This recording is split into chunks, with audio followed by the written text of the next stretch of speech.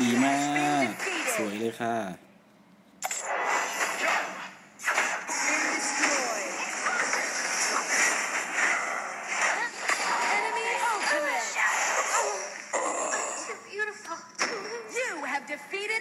นี่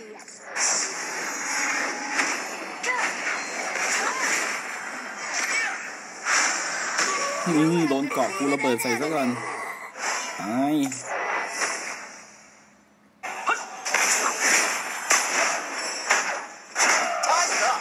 เอามัน เอามัน